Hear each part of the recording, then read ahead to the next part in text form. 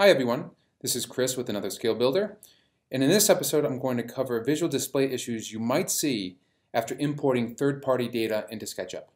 So on the screen what you're seeing is an example of possibly a CAD import, either you know, a DWG or an IFC import, um, and as I approach the model you'll start seeing some strange behavior on the screen. Okay, the shimmering that you might see, uh, perhaps some uh, section cutting, and as I approach even closer, notice you start seeing some splintering, and it's, it's pretty awful. It's really hard to snap to various corners, and all this is due to the fact that this model was imported far away from the SketchUp origin. Now let's take a look at see how far. I'm going to go ahead and orbit, and you'll see the axis in the, in the distance there. Activate my drawing tool, and I'll start by snapping in the origin and then I'll just bring it close and snap to anywhere on this model just to get an idea. Now if you look over in the lower right hand corner of the screen it says it's over 3 million feet away. That's approximately I don't know around you know over 600 miles from the origin. As a general rule, you want to have your modeling environment and the, all the geometry as close to the origin as possible because SketchUp in the way it displays geometry uses the origin to help calculate and, and, and, project to the screen. So what is one to do if you have this type of behavior? Okay, so let's try to see if we can't correct it. The obvious thing is to actually just bring it closer to the origin. So let's go ahead and do that. Select all the geometry. And then I'm going to use the Move tool and just just start the movement, okay, in some random direction. So the next thing I'm going to do is actually tell SketchUp where to place this model. Okay, and, and I'm going to be very absolute in telling it where to go. And in this case, I'm going to tell it to go straight to the origin. And I'll do that by, again, I'll just, you know, you don't even have to click onto the model itself. You can just click anywhere, start the movement, and then I'm going to type in the square bracket, the square left bracket, and then type 0, comma 0, comma 0, and then the right bracket. Um, I mean, that's the origin of the SketchUp model, and that's, and the brackets tell SketchUp that you want this exact absolute coordinate to, to snap, to go to, to move to.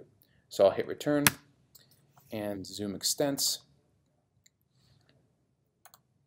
And you'll notice that suddenly, boom, the, the model is now in place. And I can, you know, move this again and have it snap to the origin. Perhaps that's where I want it to go. Um, now notice that some things have corrected themselves and some things haven't.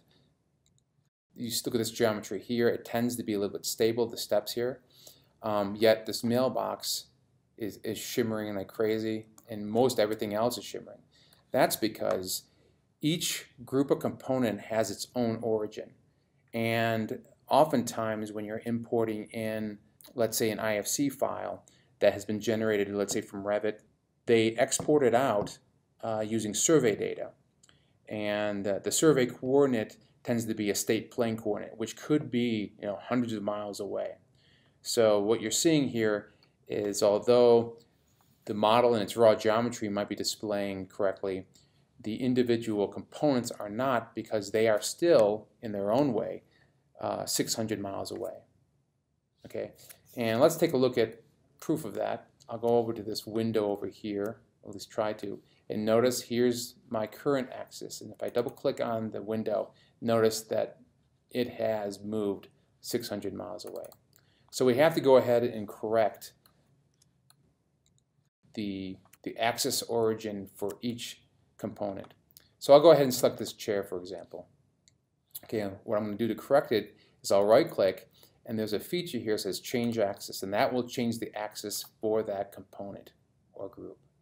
Okay, so I'll click a few times and notice that the axis is now displayed right where I placed it and now that that chair, although the, the walls are kind of interfering, you can see that chair is nice and stable.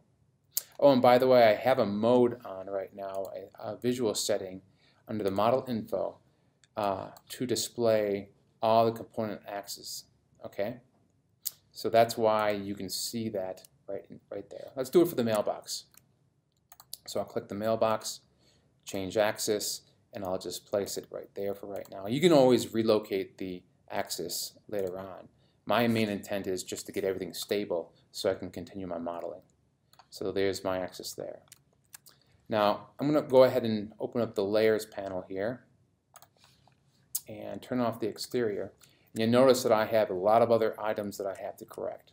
Okay, and again, I can go through each one and say change axis and just place it randomly right there and it'll stabilize that piece. Okay, but if I have you know hundreds of different items in here, um, you know that might take a little bit of time. But uh, thanks to some development in our developing community and the extension warehouse, there actually is a, a an extension that's going to help uh, speed up that process. And it's by ThomThom, and it's called uh, Axis Tools. So the way that works is I'm going to go ahead and again select everything in my model. And in fact, let me go ahead and turn this back on because the windows have to be corrected as well. And select everything and activate that extension. And it's called Axis Tools.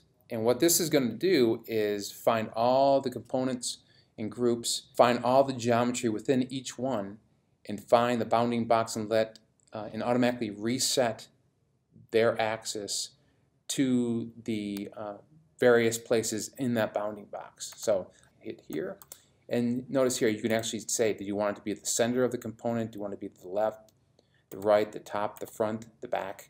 It's up to you to decide how you want those placed. Okay, say OK, and notice everything's reset. And now you can see all the component axes are now local or very, very close to the geometry itself. This model is stable and it's ready for further modeling. Okay, I hope this helps, and thanks a lot.